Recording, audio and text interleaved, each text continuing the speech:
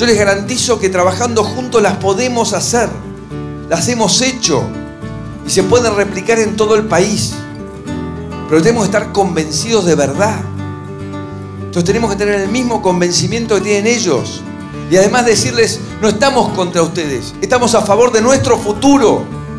Esta rebeldía no es contra nadie, es a favor de un futuro mejor para todos nosotros.